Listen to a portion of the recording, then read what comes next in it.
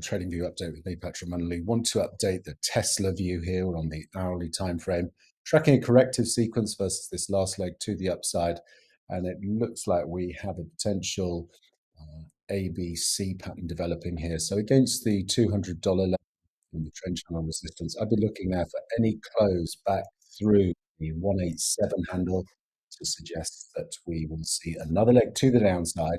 We'll be targeting an extension south to test the equality objective at $146.50 versus that uh, that B wave high there. And that also coincides with the 61 0.8% retracement of that last leg to the upside as well, 146.30s.